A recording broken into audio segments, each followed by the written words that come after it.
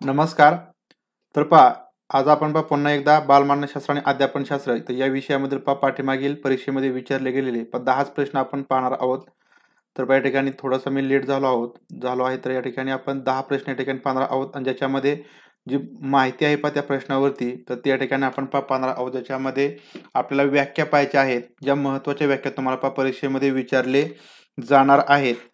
तर यासाठी महत्त्वाचा असा या ठिकाणी हा लेशन किंवा सेशन या ठिकाणी पहा होणार आहे. तर पहा आवाज वगैरे पहा येत आहे का मला? एकदा पहा सांगायचं आहे पहा आवाज वगैरे येत आहे का?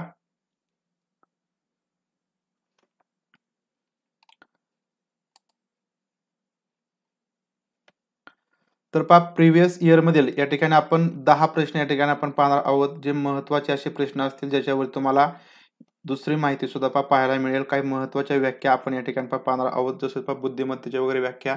ज्याच्यावरती बा प्रश्न विचारले जातात. पेपर एक आणि पेपर दोन साठी तर पहा हे महत्त्वाच्या ज्या व्याख्या आहेत त्या असणार आहेत.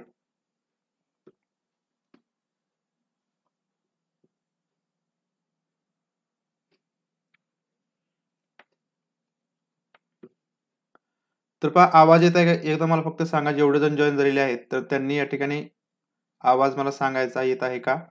आणि या ठिकाणी पण लाईक करा. आपण या ठिकाणी तर पहा बुद्धिमापन गिलफोर्ड विषयी या ठिकाणी आपण स्पेशल असा पहा व्हिडिओ पाहणार आहोत किंवा लाईव्ह सेशन पहा घेणार आहोत. फक्त या ठिकाणी आता आपण त्या प्रश्नामध्ये जी काय पहा माहिती आहे त्या संदर्भात परीक्षे दृष्टीने जी महत्वाची माहिती असेल तर ती आपण या ठिकाणी पहा पाहूया. तर या ठिकाणी थोडाच आपण या ठिकाणी लाईव्ह सेशन घेणार आहोत. फक्त दहा प्रश्न असतील पण महत्वाची माहिती पा तुम्हाला पा या ठिकाणी पा पाहायला मिळणार आहे. या ठिकाणी व्हिडिओ तुम्ही पा शेअर केला तरी सुद्धा पा चालेल तुमच्या ग्रुपमध्ये तर पा या ठिकाणी प्रश्नाचं उत्तर सुद्धा द्यायचं आहे. त्याच्यानंतर तुम्हाला त्या प्रश्नाचं स्पष्टीकरण पण मिळेल की कातड्याच्या निर्जीव पट्ट्याला अंधारात साप म्हणून आपण घाबरतो. तर हे टिंबटिंबचे उदाहरण आहे. तर पा एखादा कातड्याचा पण निर्जीव पट्टा असेल आपल्या घरामध्ये वगैरे असतो किंवा बाहेर सुद्धा आपण काही वेळेस अंधारामध्ये तो पट्ट्याला पाहतो आणि त्यावेळेस तो साप आहे असं आपण समजतो. तर हे जे काही उदाहरण आहे ते कशाचं आहे? समावेश मन मनाचा कल इंद्रिय भ्रम किंवा चित्तभ्रम तर हा जो काही या ठिकाणी आपल्याला हे उदाहरण सांगितलेलं आहे ते कशाचं आहे ते या ठिकाणी आपल्याला सांगायचं आहे.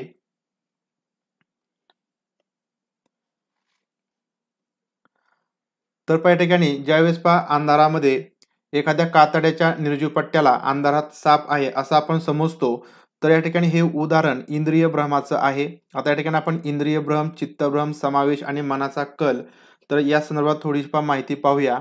तर पहा आता या ठिकाणी पहा हे समावेश समावेशाचं या ठिकाणी उदाहरण आहे आता समावेश म्हणजे काय तर या ठिकाणी पहा आपल्याला एक त्रिकोण दिलेला आहे आणि या ठिकाणी या दो तीन या ठिकाणी पहा टिंब आहेत जर या ठिकाणी तुम्ही पहा व्यवस्थित पाहिलं किंवा लांबून पाहिलं की तुम्हाला या ठिकाणी लक्षात येतं की या ठिकाणी हे ज्या काही टिंब आहेत ते या ठिकाणी पहा जोडलेले आहेत किंवा या ठिकाणी हे जे अक्षर आहेत ते या ठिकाणी पहा रेषा रेषाने अक्षरे काढलेले आहेत परंतु आपण या ठिकाणी पूर्ण जे काही अक्षर आहे ते पहा वाचतो म्हणजे या ठिकाणी आपला टी असा आपण वाचतो किंवा जो काही ई आहे तो या ठिकाणी असा वाचतो. म्हणजे या ठिकाणी जे काही तुटक तुटक भाग असतात.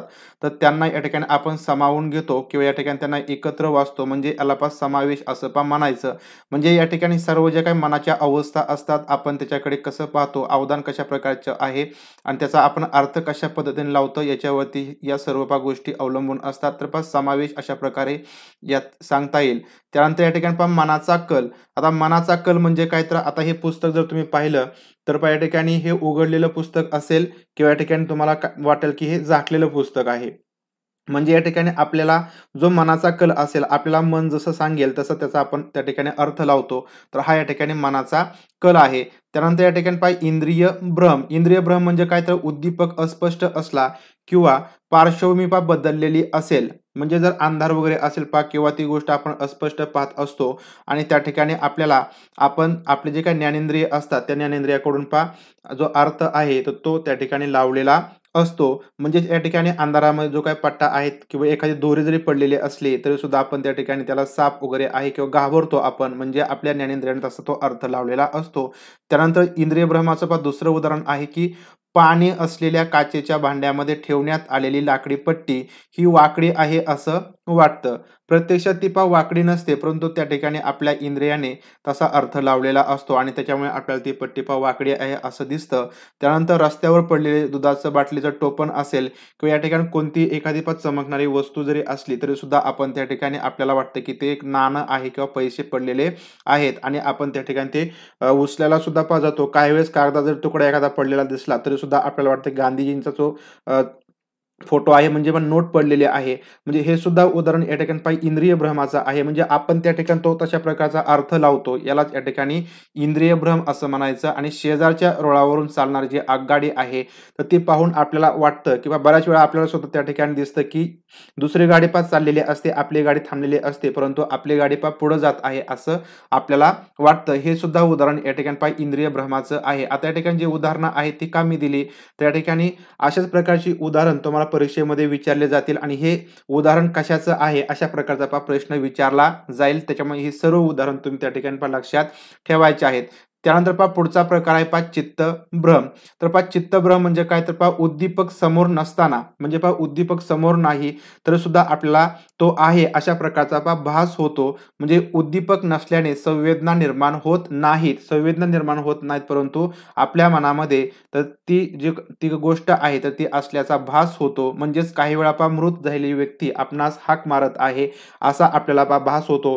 किंवा आपण रात्रीच्या अंधारामध्ये चालत असताना आपल्या जरी चपलेचा आवाज जरी आला तरी सुद्धा आपल्या पाठीमागे काहीतरी पळत आहे किंवा पाला पाचोळा वाजला तरी सुद्धा काहीतरी आहे अशा प्रकारचा त्या ठिकाणी आपल्याला भास होतो. याला पा चित्तभ्रम असं पा म्हणायचं आणि एकांतामध्ये आपल्याला पा हुरहुर वाटते. हे सुद्धा जे उदाहरण आहे ते पा चित्तभ्रमाचं आहे. आता या ठिकाणी हे चित्तभ्रम आहे. या चित्तभ्रमाची पा वैशिष्ट्य वैशिष्ट्यावरती सुद्धा प्रश्न तुम्हाला विचारला जाऊ शकतो. तर पा चित्तभ्रम हे व्यक्तिगत असतात. म्हणजे पा प्रत्येकाचे चित्तभ्रम आहे ते व्यक्तिगत असतात. तुमचं चित्तभ्रम या ठिकाणी वेगळा असू शकतो. माझा पाय वेगळा असू शकतो. म्हणजे प्रत्येकाचे चित्तभ्रम या ठिकाणी वेगळे असतात. चित्तभ्रमामध्ये पा वास्तवता नसते. म्हणजे जरी आपल्याला वाटलं की आपल्या पाठीमागं कोणतरी चालत आहे आपल्याला कोणीतरी हाका मारत आहे परंतु त्या गोष्टी या ठिकाणी वास्तवामध्ये पा नसतात. सर्व ज्या गोष्टी असतात त्या काल्पनिक असतात. चित्तभ्रम या व्यक्तीच्या आंतरिक अवस्थेमुळे पा होत असतात. आपण कोणता विचार करतो कशा प्रकारचा विचार करतो या सर्व गोष्टीमुळे या चित्तभ्रमाची अवस्था अवस्था येत असते. चित्तभ्रम जर वारंवार होत असेल तर पहिल्या ठिकाणी चित्तभ्रमाचा काही नुकसान होतं. तर चित्तभ्रम जर वारंवार होत असेल तर कदाचित त्यातून तीव्र स्वरूपाची मानसिक व्याधी सुद्धा निर्माण होऊ शकते. म्हणजे वेडसरपणा वगैरे किंवा अशा ज्या गोष्टी आहेत त्या या चित्तभ्रमामुळे पा होत असतात. तर अशा प्रकारे या ठिकाणी आपल्याला चित्तभ्रम त्यानंतर इंद्रिय भ्रम समावेश आणि या ठिकाणी मनाचा कल तर या ज्या काही व्याख्या आहेत किंवा या ज्या काही गोष्टी आहेत त्या ठिकाणी तुम्ही पण लक्षात ठेवायच्या आहेत. तर पा अशा प्रकारे या ठिकाणी कातड्याच्या निर्जीव पट्ट्याला आंध्रात साप समजून आपण घाबरतो हे या ठिकाणी इंद्रिय भ्रमाचं पा उदाहरण आपल्याला सांगता येईल. त्यानंतर पा प्रश्न पुढचा आहे पा प्रश्न पा पुढचा आहे आपण या ठिकाणी साधक अभिसंधान तर पा पाठीमागे याविषयी पा माहिती पाहिलेली आहे की साधक अभिसंधान पद्धतीचा उद्गाता टिंब आहे. Albert Bandura B F Skinner doctor Bloom की थॉर्नडाईक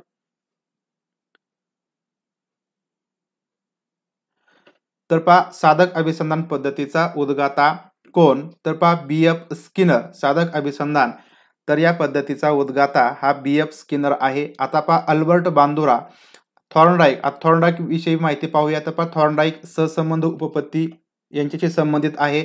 त्यांनी अध्ययनविषयक पण नियम मांडले. आपण थॉर्नडाईक विषयी पहा. सविस्तर असा व्हिडिओ पाहिलेला आहे तरी सुद्धा तुमची थोडीशी उजळणी व्हावी यासाठी माहिती त्यांनी जे अध्ययनविषयक तीन नियम मांडले त्याच्यामध्ये पहिला सज्जतेचा किंवा तयारीचा नियम त्यानंतर पुनरावृत्तीचा किंवा रिव्हिजन त्यानंतर परिणामाचा लॉ ऑफ इफेक्ट तर हे तीन नियम सुद्धा या ठिकाणी लक्षात ठेवायचे आहेत खूप महत्त्वाचे आहेत. त्यानंतर डॉक्टर ब्लोम डॉक्टर ब्लोम यांची जी उपपत्ती आहे ती प्रभुत्व संपादन.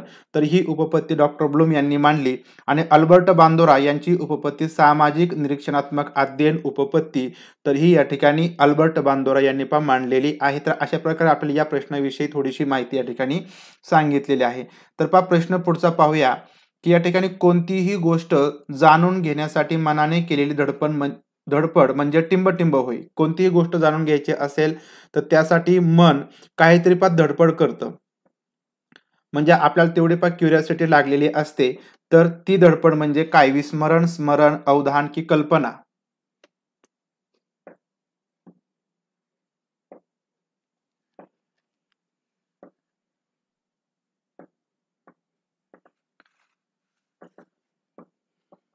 तर पहा अगदी बरोबर. तर पहा कोणतीही गोष्ट जाणून घेण्यासाठी मनाने केलेली धडपड म्हणजे पहा अवधान.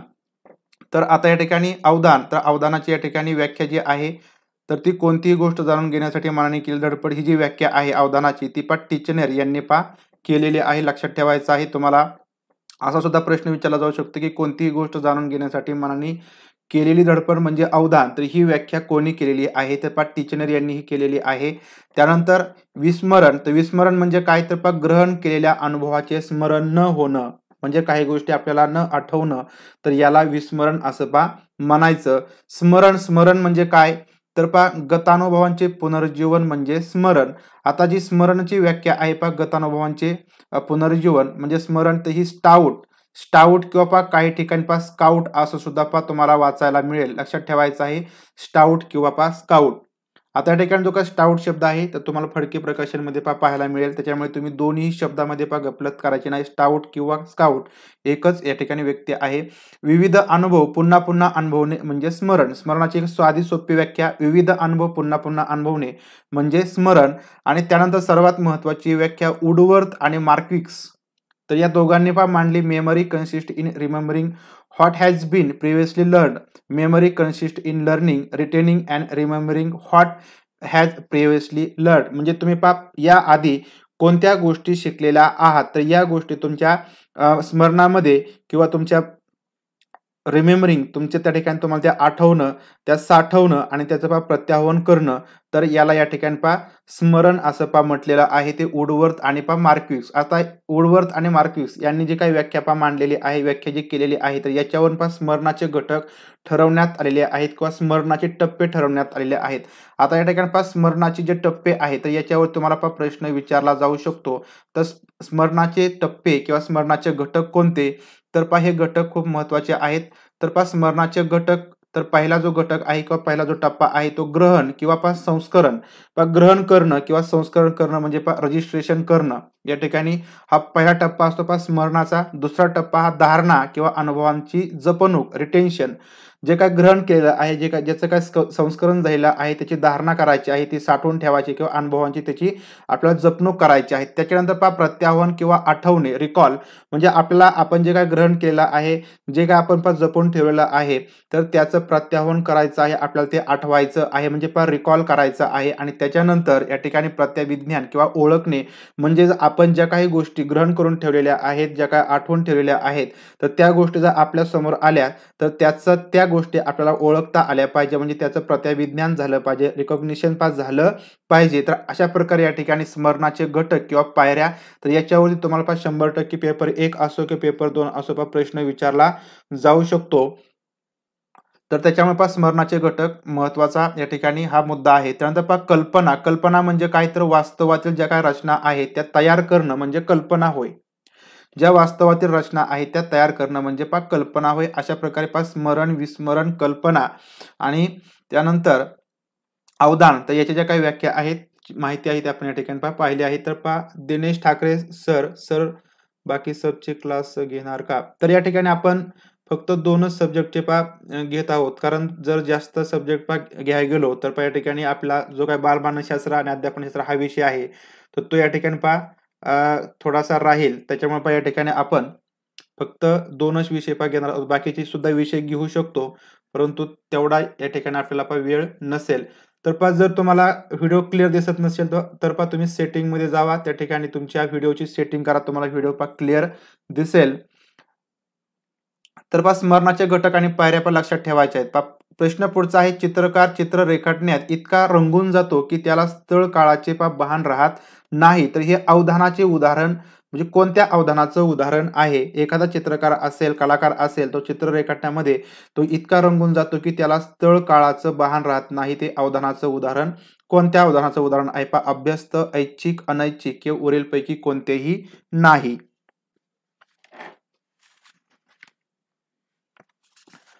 तर पा अवधानाचं उदाहरण आहे हे आणि फक्त यापैकी जे काय तीन अवधानाचे प्रकार आहेत यापैकी कोणत्या अवधानाचं उदाहरण आहे?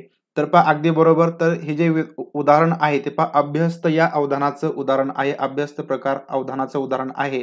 तर आता या ठिकाणी आपण अवधान अवधान म्हणजे आपण पाहिलं की एखाद्या वस्तूकडे किंवा विषयाकडे वळलेला मनाचा ओघ म्हणजे अवधान ही सुद्धा अवधानाची व्याख्या आहे. पहा एखादी वस्तू असेल किंवा विषय असेल त्या विषयाकडे वळलेला मनाचा ओघ म्हणजे पा अवधान होय.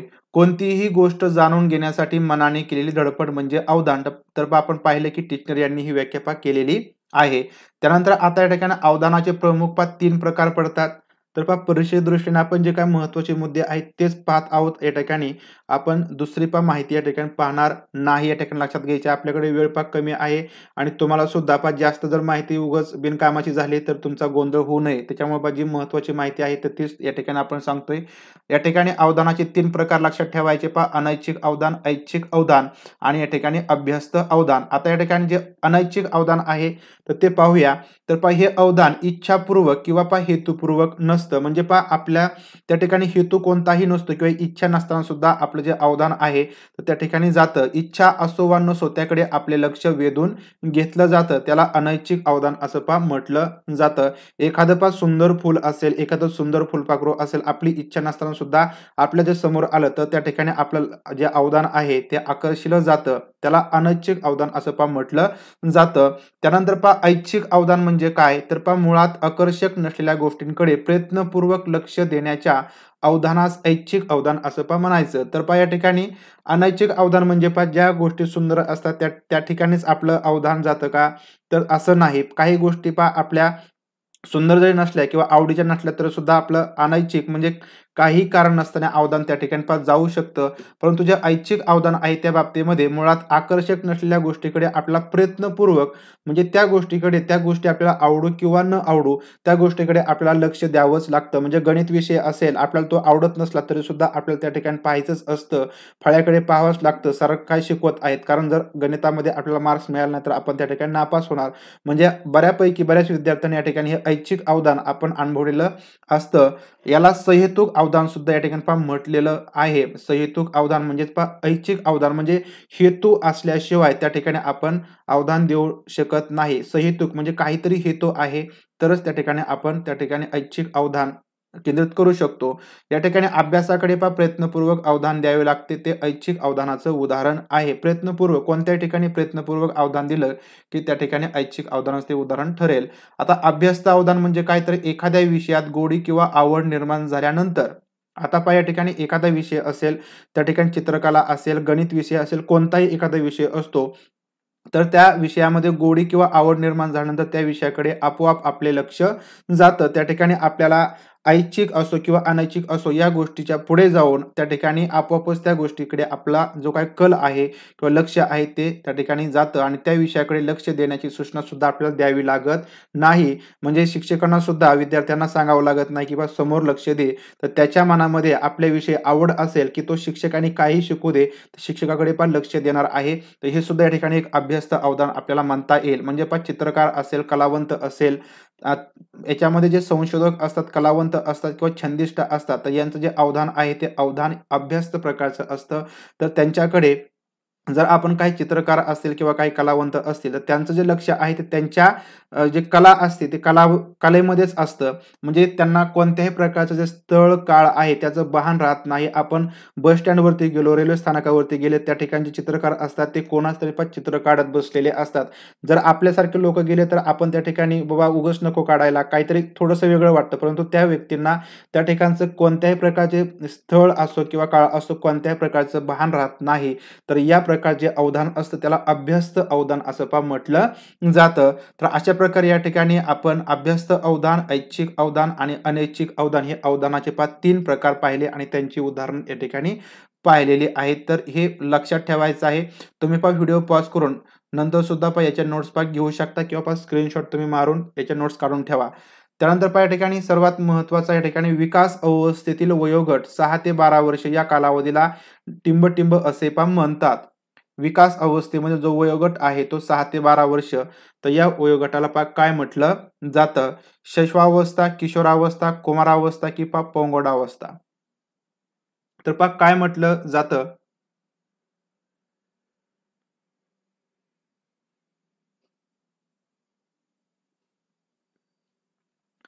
तर पा जर परिसर अभ्यास किंवा इतर विषय असतील तुम्ही पाठ्यपुस्तकामधून अभ्यास पा करू शकता. तर पहा या ठिकाणी ही जी काय अवस्था असते पा सहा ते बारा वर्ष या वयोगटातील. तर या अवस्थेला तर पहा या ठिकाणी आपल्याला माहिती आहे सहा ते बारा किशोर अवस्था किंवा त्याला दुसरी अवस्था आहे. पा उत्तर बाल्यावस्था. आता या ठिकाणी आपण ज्या अवस्था आहेत ते विकासाचे टप्पे पाहूया. तर पहा महत्वाचं आहे याच्यावरती पहा प्रश्न विचारले जाऊ शकतात. प्रश्न विचारले गेलेले आहेत बालकाच्या विकासातील टप्पे. तर पहा जी जन्मपूर्व अवस्था असते तर ती दोनशे पन्नास ते पहा तीनशे दिवस असते. लक्षात ठेवायचं आहे पहा जन्मपूर्व अवस्था ही दोनशे पन्नास ते पाच तीनशे दिवस असते. जननावस्था ही शून्य ते दोन आठवडे म्हणजे या ठिकाणी गर्भ राहिल्यानंतर शून्य ते दोन आठवड्यापर्यंत जननावस्था असते. त्यानंतर गर्भावस्था ही दोन ते दहा आठवडे दोन आठवड्यापासून दहा आठवड्यापर्यंत पा गर्भावस्था असते. न त्यानंतर पा भ्रूण अवस्था ही दहा आठवड्यापासून ते जन्मापर्यंत जोपर्यंत पा जन्म होत नाही तोपर्यंत ती भ्रूण अवस्थेमध्ये त्या ठिकाणी गर्भ असतो. अर्भगावस्था कशाला म्हणायचं? तर पा जन्मापासून ते एक महिन्यापर्यंत. जन्मापासून ते एक महिन्यापर्यंत पा अर्भकावस्था असते. तर अशा प्रकारे या ठिकाणी बालकाच्या विकासातील हे टप्पे महत्त्वाच्या अवस्था या ठिकाणी आणि त्यांचा कालावधी या ठिकाणी लक्षात ठेवा. तर तुम्हाला या ठिकाणी कालावधी दिला जाईल. त्यानंतर टप्पे दिले जातील त्यांच्या जोड्या लावा हा सुद्धा प्रश्न तुम्हाला त्या ठिकाणी विचारला जाऊ शकतो. त्यानंतर या ठिकाणी पाच जन्मोत्तर अवस्था पा जन्म झाल्यानंतरच्या काही अवस्था आहेत त्याच्यामधील पहिली शैशवावस्था आहे एक महिना ते दोन वर्षापर्यंत शैशवावस्था असते. बाल्यावस्था दोन ते सहा वर्षापर्यंत दोन ते सहा वर्षापर्यंत बाल्यावस्था असते. त्यानंतर उत्तर बाल्यावस्था किंवा पा किशोर अवस्था उत्तर बाल्यावस्थेलाच पा किशोर बाल्यावस्था पा म्हटलं जातं सहा ते पा बारा वर्षापर्यंत. सहा ते बारा वर्षापर्यंत उत्तर बाल्यावस्था ते पा किशोरावस्था. तर आपण या ठिकाणी पण डीएडचाच या ठिकाणी अभ्यास घेतोय. आणि डीएडचाच तुम्हाला पण प्रश्न पडतात डीएडच्या पुस्तकामधील. आणि पोंगोडावस्था बारा ते पाच चौदा वर्ष. बारा ते चौदा वर्ष पोंगोडावस्था असते. कुमार अवस्था चौदा ते एकवीस वर्षापर्यंत पा कुमार अवस्था असते. आता कुमार अवस्थेमध्ये अजून पा दोन प्रकार पडतात किंवा दोन अवस्था आहेत. त्याच्यामध्ये पहिली अवस्था पा पूर्व कुमार अवस्था जी चौदा ते सोळा वर्षापर्यंत असते. पूर्व कुमार अवस्था आणि उत्तर कुमार अवस्था ही सोळा ते एकवीस तर या वर्षापर्यंत असते. लक्षात ठेवायचे पा कुमार अवस्थेमध्ये दोन अवस्था पडतात ज्याच्यामध्ये कुमार अवस्था पूर्ण कालावधी हा चौदा ते एकवीस वर्ष आहे. पूर्व कुमार अवस्था ही चौदा ते सोळा वर्ष आणि उत्तर कुमार अवस्था ही सोळा ते एकवीस वर्ष असते.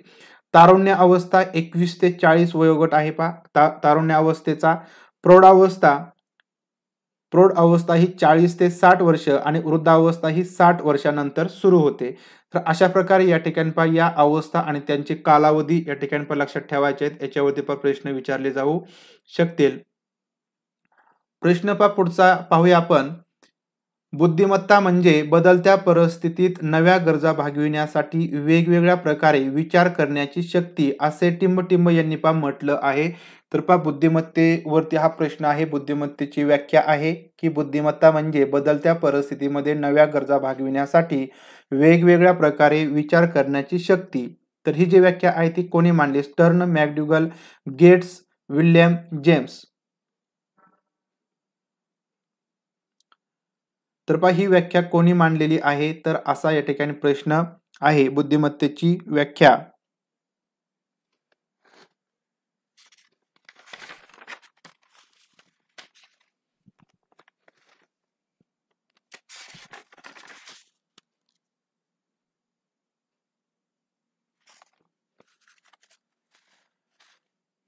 अगदी बरोबर. तर या ठिकाणी ही जी व्याख्या आहे तर ती स्टर्न यांनी पण मांडलेली आहे. बुद्धिमत्ता म्हणजे बदलत्या परिस्थितीमध्ये ज्या काही नव्या गरजा असतील त्या नव्या गरजा भागवण्यासाठी कोणतीही नवीन गरज असेल ती नवीन गरज भागवायची असेल तर वेगवेगळ्या प्रकारे विचार करण्याची काही शक्ती असते त्याला पा बुद्धिमत्ता असं पा म्हटलं जातं. पा प्रत्येकाची ज्या काही नवीन गरजा भागवायच्या असतात त्यावेळेस पा प्रत्येकाची जी बुद्धी असते ते वेगवेगळ्या प्रकारे पा विचार करत असते. आणि ही जी काही व्याख्या आहे ती पा स्टर्न यांनी पा मांडलेली आहे. आता या ठिकाणी आपण सगळ्या पा बुद्धिमत्तेच्या व्याख्या पाहूया कोणी कोणी केलेल्या आहेत. तर पा विल्यम स्टर्न यांची ही व्याख्या आहे.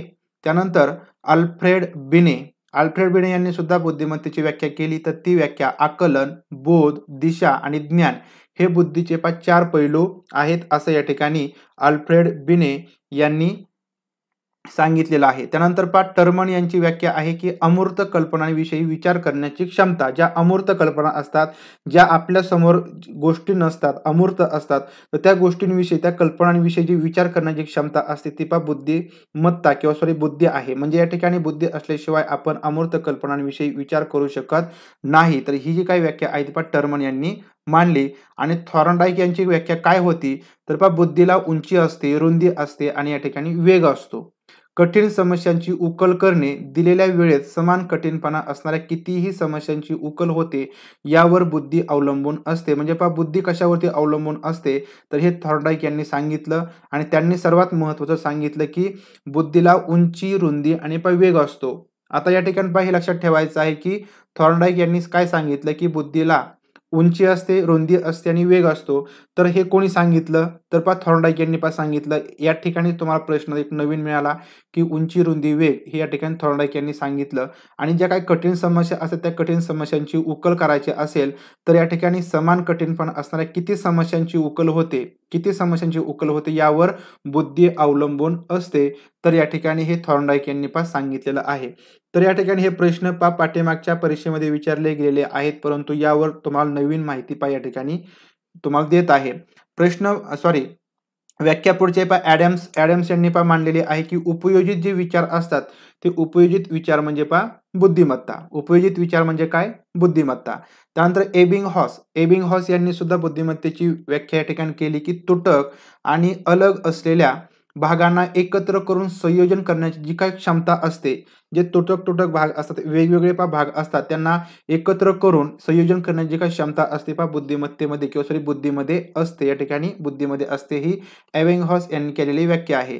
त्यानंतर पा मॅकडुगल यांची व्याख्या पुरानुभवांच्या आधारे नैसर्गिक कल सुधारण्याची क्षमता म्हणजे पा बुद्धी. म्हणजे जे पूर्णानुभव असतील त्या पूर्णभवांच्या आधारे नैसर्गिक कल सुधारण्याची क्षमता असते ती या ठिकाणी बुद्धी असते. गेट्स गेट्स यांची सुद्धा व्याख्या आहे की बुद्धिमत्ता म्हणजे अध्ययन क्षमतांचे संयुक्त संघटन. अध्ययन ज्या काही क्षमता असतात त्या सर्व अध्ययन क्षमतांचं संयुक्त संघटन म्हणजे पा बुद्धी. ही व्याख्या गेट्स यांनी पा केलेली आहे. प्रश्न त्यानंतर विल्यम जेम्स यांनी व्याख्या केली की सापेक्ष दृष्टीने नव्या परिस्थितीस यशस्वीरित्या समायोजन करण्याची क्षमता म्हणजे पा बुद्धिमत्ता कशाही प्रकारची परिस्थिती असेल सापेक्ष स्थिती असेल तर सापेक्ष दृष्टीने एखादी नवीन परिस्थिती जर उद्भवली तर त्या परिस्थितीला यशस्वीरित्या समायोजन करण्याची जी क्षमता असते त्या क्षमतेला पा बुद्धी असं म्हटलं जातं. विल्यम जेम्स यांची ही व्याख्या आहे. तर अशा प्रकारे या ठिकाणी या व्याख्या आणि व्याख्या करणारे या ठिकाणी मानसशास्त्रज्ञ तर या ठिकाणी या व्याख्या लक्षात ठेवायच्या आहे तुम्हाला याच्यावरती प्रश्न विचारले जाऊ शकतील. महत्वाची अशी माहिती आहे.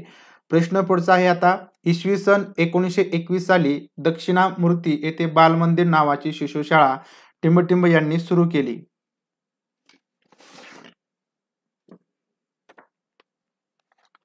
तर एकोणीसशे एकवीस साली दक्षिणामूर्ती येथे बालमंदिर नावाची शिशुशाळा खालीलपैकी पाक कोणी सुरू केलेली आहे.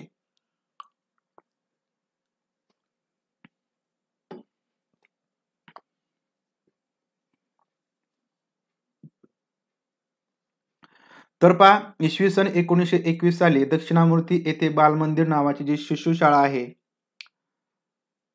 अगदी बरोबर. तर पहा गिजूबाई बधेका गिजूबाई बधेका यांनी पा सुरू केलेली आहे. तर आता पहा गिजूबाई बधेका तर यांचा जो का जन्म आहे तो पा पंधरा नोव्हेंबर पंधरा नोव्हेंबर अठराशे पा पंच्याऐंशी साली सौराष्ट्र गुजरातमधील पा चित्तलगाव चित्तलगाव या ठिकाणी पा त्यांचा जन्म झाला. आणि त्यांनी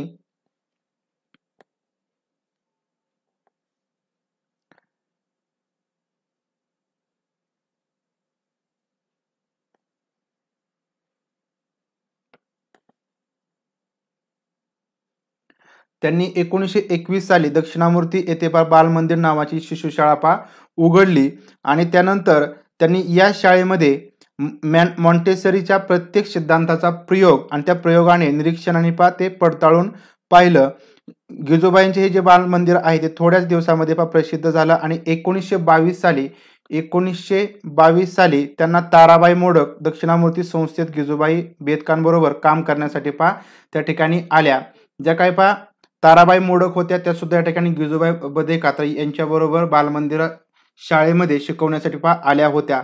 तर अशा प्रकारे या ठिकाणी आपल्याला गिजोबाई बदेकाविषयी थोडीशी माहिती सांगता येईल. या ठिकाणी आपण जो काय पा जे काय सगळे जे काही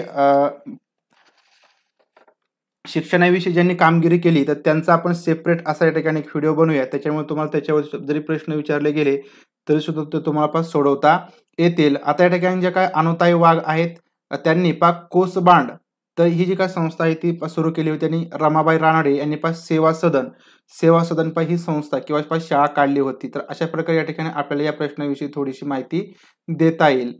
त्यानंतर पा प्रश्न पुढचा आहे की स्मृती म्हणजे नवा अनुभव असे टिंब यांनी पण म्हटलं आहे. स्मृती म्हणजे नवा अनुभव असं कोणी म्हटलेलं आहे? पा टाऊट रॉस एबिंग हॉस मन. स्मृती म्हणजे नवा अनुभव असं कोणी म्हटलेलं आहे.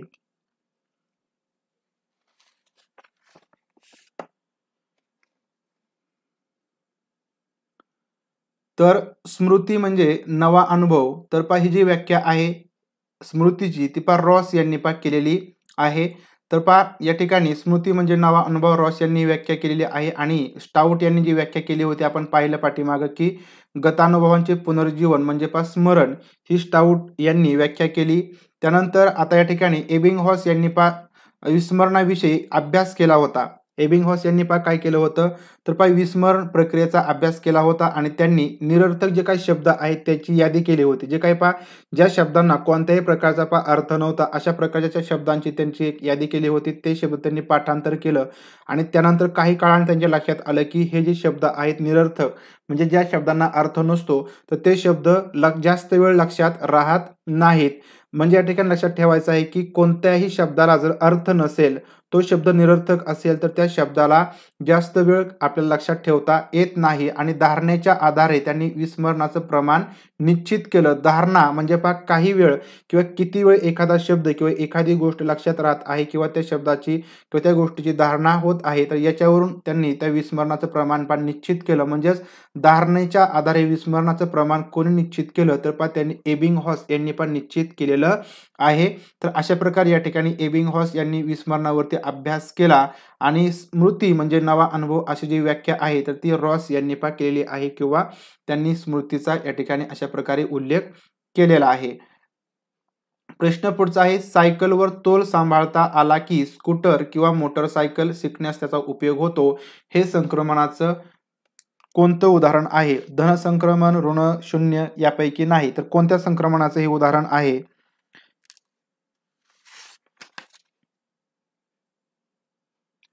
सायकलवर तोल सांभाळता आला म्हणजे सायकल चालवायला आले की आपण पण स्कूटर किंवा मोटरसायकल चालवू शकतो किंवा शिकण्यास त्याचा उपयोग होतो.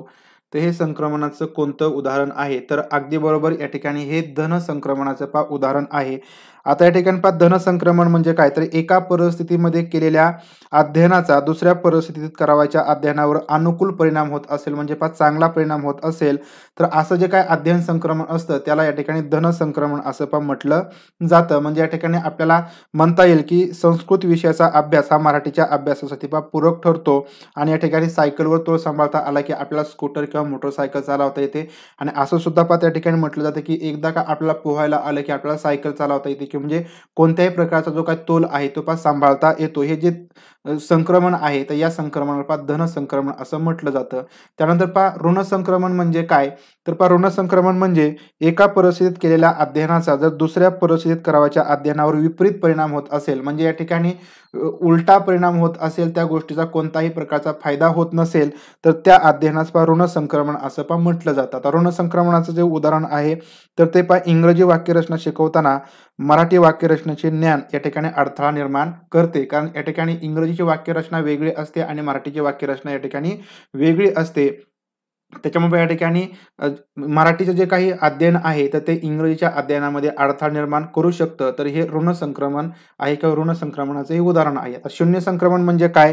तर दोन्ही परिस्थितीमध्ये अगदी भिन्न असतील. दोन्ही परिस्थिती अगदी भिन्न असतील तरी सुद्धा एका परिस्थितीत केलेल्या अध्ययनाचा दुसऱ्या परिस्थितीत करायच्या अध्ययनावर तर अनुकूल अथवा प्रतिकूल कोणताच परिणाम होत नाही. तर अशा वेळेस जे काही संक्रमण असतं ते पण ऋण संक्रमण किंवा सॉरी शून्य संक्रमण असतं. म्हणजे त्या ठिकाणी प्रतिकूल सुद्धा किंवा अनुकूल सुद्धा म्हणजे चांगला किंवा वाईट अशा कोणत्याही प्रकारचा परिणाम होत नाही किंवा संक्रमण होत नाही त्याला शून्य संक्रमण असं पहा म्हटलं जातं. म्हणजे या ठिकाणी जे उदाहरण आहे ते आपल्याला जर सांगायचं झालं तर पहा इतिहास अध्ययनाचा गणित अध्ययनावर पहा कोणताच परिणाम होत नाही. म्हणजे तुम्ही इतिहास शिकला किंवा नाही शिकला तर त्याचा तुम्हाला गणितावरती पहा कोणताही परिणाम होणार नाही. तर हे जे काही संक्रमणाचं उदाहरण आहे ते पहा शून्य संक्रमणाचं उदाहरण आपल्याला सांगता येईल. तर अशा प्रकारे धन संक्रमण ऋण संक्रमण आणि शून्य संक्रमण तर हे ज्या काही व्याख्या आहेत त्या लक्षात ठेवायच्या आहेत आणि उदाहरण सुद्धा तुम्ही या ठिकाणी वाचून ठेवायचे आहेत. प्रश्न पुढचा आणि शेवटचा पहा. यशस्वी अध्यापन म्हणजे काय? या ठिकाणी पहा तुमच्यासाठी हा प्रश्न आहे की यशस्वी अध्यापन. तर यशस्वी अध्यापन म्हणजे काय? शंभर टक्के निकाल सर्व विद्यार्थ्यांनी प्रावीण्यासह उत्तीर्ण होणे परिणामकारक अध्ययन की विद्यार्थ्यांचं यश.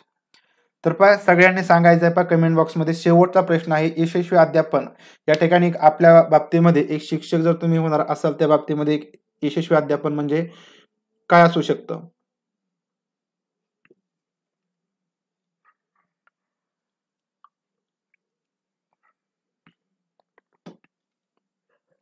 तर अगदी बरोबर या ठिकाणी पहा अध्ययन. अध्ययन म्हटलेलं आहे या ठिकाणी पहा अध्य अध्यापन आहे. आता पहा या ठिकाणी अध्यापन म्हणजे काय? जर एक यशस्वी अध्यापन म्हणजे आपण काय शिकवतोय तर हे जर अध्यापन किंवा परिणामकारक व्हायचं असेल तर त्या ठिकाणी विद्यार्थ्यांचे जे काय अध्ययन आहे ते पा परिणामकारक झालं पाहिजे. विद्यार्थ्यांचं जर अध्ययन पा परिणामकारक झालं नाही तर पा जी पहिली गोष्ट सांगितली पा शंभर टक्के निकाल. तर या ठिकाणी शंभर टक्के निकाल कधीच लागू शकत नाही जर तुमचं म्हणजे विद्यार्थ्यांचं परिणामकारक अध्ययन झालं नाही. तर त्यानंतर सर्व विद्यार्थ्यांनी पा प्रावीण्यासह उत्तीर्ण होणे. या ठिकाणी उत्तीर्ण होणं म्हणजे या ठिकाणी तुमचं अध्ययन होऊ शकत नाही. म्हणजे त्या ठिकाणी पा तुमचं अध्यापन जरी झालं नाही तर सुद्धा पा विद्यार्थी कदाचित उत्तीर्ण होऊ शकतात. त्यासाठी पण वेगळ्या काही गोष्टी असतात. आणि या ठिकाणी विद्यार्थ्यांचं यश विद्यार्थ्यांच्या यशावरती सुद्धा या ठिकाणी परिणामकारक अध्ययन किंवा यशस्वी अध्यापन अवलंबून नसतं. तर या सर्व गोष्टींसाठी एकच गोष्ट म्हणजे पा परिणामकारक अध्ययन. विद्यार्थ्याचं कोणत्याही विद्यार्थ्याचं जर परिणामकारक यशस्वी अध्ययन झालं तर या ठिकाणी विद्यार्थ्यांचा शंभर टक्के निकाल लागणार आहे. सर्व विद्यार्थी प्रावीण्यासह उत्तीर्ण होतील आणि विद्यार्थ्यांना यश मिळणार आहे. म्हणजेच याचाच अर्थ जर विद्यार्थ्यांचं परिणामकारक अध्ययन झालं तर एक शिक्षक म्हणून आपलं या ठिकाणी यशस्वी अध्यापन झालं असं त्या ठिकाणी आपल्याला पण म्हणता येईल. म्हणजेच या ठिकाणी यशस्वी अध्यापन म्हणजे परिणामकारक अध्ययन. पर्याय क्रमांक तीन याचं पा उत्तर येणार आहे. तर अशा प्रकारे या ठिकाणी आपण फक्त दहा प्रश्न पाहिले परंतु त्याच्यावरती आपण बरीच माहिती पा पाहिली आहे ज्याच्यावरती तुम्हाला वेगवेगळ्या प्रकारचे जरी प्रश्न विचारले गेले तरी सुद्धा तुम्हाला ते प्रश्न पा त्या प्रश्नांची उत्तरे पा देता येतील. तर पा पेपर एक आणि पेपर दोन साठी बालमानसाचे जे प्रश्न असतात तर ते या ठिकाणी थोडेफार पा सारखेच असतात. थोडासा पा बदल असतो. जे काही पेपर दुसऱ्याचे प्रश्न असतात त्याची काठिण्य पातळी थोडीशी पा कठीण असते. कारण पा सहा ते आठचा वयोगट असतो त्याच्यामुळे त्याचा काठिण्याचा जो स्तर असतो तो पा वेगळा असतो. परंतु जे प्रश्न असतात तुम्हाला पेपर एक आणि पेपर दोनमध्ये काही पे प्रश्न त्या ठिकाणी तुम्हाला सारखे मिळू शकतात किंवा पाठीमागील परीक्षेमधील पा विचारले जाऊ शकतात. त्याच्यामुळे पा दोन्ही पेपरचा अभ्यास तुम्ही करत असताना डी एडचं सुद्धा पा पुस्तक वाचायचं आहे आणि बी एडचं सुद्धा पुस्तक वाचायचं आहे. फक्त काही घटक तुम्हाला पेपर दोनमध्ये पेपर एकपेक्षा पा वेगळे पाहायला मिळतील. तर पा ठीक आहे. तर या ठिकाणी तुम्हाला हा सेशन कसा वाटला? तर हे तुम्ही पा कमेंट बॉक्समध्ये पण सांगायचं आहे. आपण जास्त माहिती पाहण्यापेक्षा जे काही काही प्रश्न आहेत ते त्याच्यावरती आपण चांगली माहिती पा पाहता येईल आपल्याला. आणि जर त्याच्यावरती पा प्रश्न विचारले गेले तर तुम्हाला ते प्रश्न पा नक्की सोडवता येतील. सर पाचवीचे ओल्ड बुक किंवा न्यू सिलेबस करावा. ओके तर पा या ठिकाणी न्यू आणि ओल्ड तर पण जो दोन्ही जे काही सिलेबस आहेत किंवा जे दोन्ही पाठ्यपुस्तके आहेत म्हणजे आप आपण जो काही इतिहास शिकलो किंवा आपण जे काही पुस्तकं शिकलो म्हणजे विज्ञानचे असतील गणिताचे असतील तर त्या गणिताच्या पुस्तकामधूनच तुम्ही त्या ठिकाणी पा अभ्यास करायचा आहे. जे जुनी पुस्तकं असतील तर ती तुम्हाला ई बालभारतीच्या वेबसाईटला पण मिळतील. तर पहा त्याच ठिकाणी तुम्हाला त्या पुस्तकाची पी डी एफ तुम्ही डाउनलोड करून घेतली आणि त्याचा अभ्यास केला. तर त्या पुस्तकामधून प्रश्न पडलेले आहेत. पहा गेल्या वर्षी दोन हजार एकोणीसमध्ये जी पहा टी टी पास झाली दोन हजार एकोणीसमध्ये तर त्या पेपरमध्ये पा परिसर अभ्यास. त्यानंतर समाजशास्त्र गणित विज्ञान तर सॉरी विज्ञानमधील जे काही प्रश्न होते समाजशास्त्र विज्ञान आणि परिसर अभ्यास तर या तीनही विषयामधील प्रश्न पा पाठीमागच्या अगदी जुन्या पुस्तकामधील आहे तसे पा पडलेले होते. त्याच्यामुळे तुम्हाला तेच पुस्तकं पा वाचायचे आहेत. सर ऑनलाईन क्लास किती चालू होतो? तर आपण पाच साडेनऊच्या नंतर पा ऑनलाईन क्लास घेतो रोज. साडेनऊच्या नंतर. तर पहा जर तुम्हाला नोटिफिकेशन येत नसेल तर पहा आपल्या व्हिडिओच्या डिस्क्रिप्शनमध्ये पहा टेलिग्राम चॅनल आहे त्याची लिंक आहे. तो तो चॅनल तुम्ही पहा त्या ठिकाणी जॉईन करा. त्या ठिकाणी तुम्हाला लिंक शेअर केली जाईल. तर या ठिकाणी आपण थांबूया. आणि जर तुम्ही व्हिडिओ पण लाईक केला नसेल तर या ठिकाणी लाईक करून जायचं आहे. तर थँक्यू गुड नाईट सर्वांना.